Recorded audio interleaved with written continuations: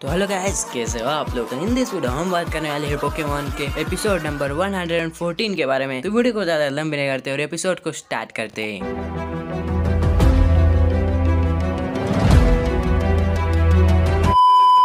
Episode के starting में हमें दिखाया जाता है कि ऐश और उसके सारे पोकेमोन ट्रेनिंग कर रहे हैं। और वहाँ पे कोई भी आ जाता है और ऐश को प्रोफेसर ओ का कॉल आ जाता है और वो प्रोफेसर ओ के लैब चले जाते हैं। प्रोफेसर ओ के लैब जाने के बाद वहाँ पे ऐश के सारे पोकेमोन ऐश को देख के बहुत खुश होके उसके पास दौड़ते हुए आते हैं। वो बहुत ही ज़्यादा खुश होते है और ऐश अपने गैलरियन पोकेमोन को उन्हें दिखाता है। ऐश कहता है की मैं वर्ल्ड चैंपियनशिप में पार्टिसिपेट करने वाला हूँ शायद उसे जीत भी जाऊँ। ऐश के सारे पोकेमोन सेलिब्रेशन कर रहे हैं और उसे अपनी पावर दिखा रहे गेंगार इम्परनेम के पास आता है और उसके फ्लेम को टच करता है और वो रॉकेट की तरह उड़ जाते हैं। और तभी गेंगार को एक अंडर शॉक पड़ता है और उसके मन में गाने बजने लगते हैं। वो थंडर शॉक अटैक किसी और ने नहीं इलेक्ट्रिक वायर ने किया होता है। और वहाँ पे गो और ऐश पहुँच जाते हैं। और देखते हैं तो क्या इलेक्ट्रिक वायर के पीछे ऐश का सबसे तगड़ा वाला राइवल पॉल खड़ा है। वो सब एक दूसरे को घूर रहे होते हैं और वहाँ पे प्रोफेसर ओ और वह के सारे पोकेमोन ऐश के वहाँ पहुँच जाते हैं। और इन पर ने पॉल को घूर रहा होता है। और तभी प्रोफेसर ओ उन सबको वहाँ से लेके जाते हैं। और इन पर में तो प्रोफेसर ओक को ही लेके जा रहा है। और कोहू पॉल के बारे में पूछता है कि ये खड़ूस कौन है? ऐश का फ्लैशबैक दिखाया जाता है और उसमें पॉल, उसका दुश्मन था और फिर दोस्त कैसे हो गया, ये सब उसे बताता है। सीन कट होता है और हमें दिखाया जाता है कि केंगार इफरनेप के साथ ट्रेनिंग कर रहा है और उसके साथ पंचेस मार रहा है। इफरनेप उसे कुछ करने के लिए कहता है और वो वैसा ही करता है और उसके हाथों से फायर निकलने लगती है और पीछे से प्रोफेसर के सब देख रहे थे और वो कहते कि लगता है गेंगार कुछ नया मूव सीख रहा है। इसके अलावा ऐश के सारे नए और पुराने पोकेमोन एक दूसरे के साथ ट्रेनिंग कर रहे हैं और अपनी पावर दिखा रहे हैं। शायद मैंने सब कहा क्या? कुछ को छोड़ के। और सीन चेंज होता है और हमें ऐश गो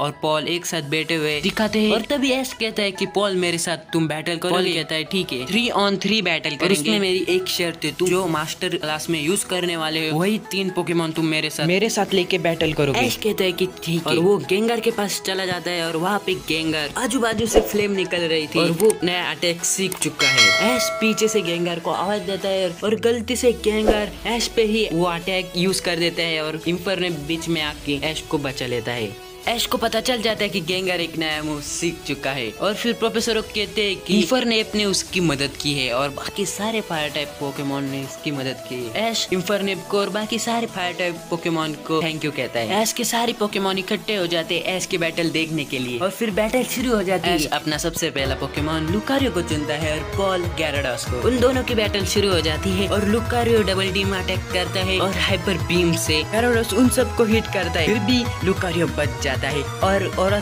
यूज़ करने वाला होता है तब गेरेडास उस पे बाइंड अटैक करता है और लुकारियो से बहुत ही ज़्यादा और निकलने लगता है। इस पे गैरेडोस पे यूज़ कर देता है और गैरेडोस और वो और लुकारियो एक नया अटैक सीख जाता है उसका नाम है बुलेट पंच और वो और गैरेडोस लुकारियो पे हाइपर पे यूज़ करता है और बहुत ही बड़ा धमाका होता है। फिर हमें दिखाया जाता है की गैरेडोस के आँखों में जलेबी आ गई है। ऐश अपना पहला राउंड जीत जाता है और दूसरे राउंड में हमें दिखाया जाता है की ऐश ड्रैगोनाइट को चुनता है और पॉल गार्चॉम को चुनता है। ड्रैगोनाइट और गार्चॉम एक दूसरे पे ड्रैगन क्लॉ अटैक यूज़ करते हैं। और फिर गार्चॉम ड्रैगोनाइट के ऊपर स्टोन एज अटैक करता है और उससे बहुत ही ज़्यादा डैमेज होता है। और उसके बाद गार्चॉम उस पे ड्रैगो मीटियोर अटैक कर देता है। ड्रैगोनाइट को बहुत ही ज़्यादा डैमेज होता है और फिर वो भी ड्रैगो मीटियोर अटैक अपने हिसाब से चला के गार्चॉम के ऊपर हमला कर देता है और गार्चॉम ड्रैगन क्लॉ अटैक करता है और दोनों के अटैक एक दूसरे को लगते हैं और बहुत ही बड़ा धमाका होता है और उसमें हमें दिखाया जाता है। ड्रैगोनाइट हार जाता है और इसी तरीके से दूसरा राउंड पॉल जीत जाता है। फाइनल राउंड जिससे पता चलेगा कि ये बैटल कौन जीता है। पॉल मेटोरॉस को चुनता है और तभी गो सोचता है कि पॉल ने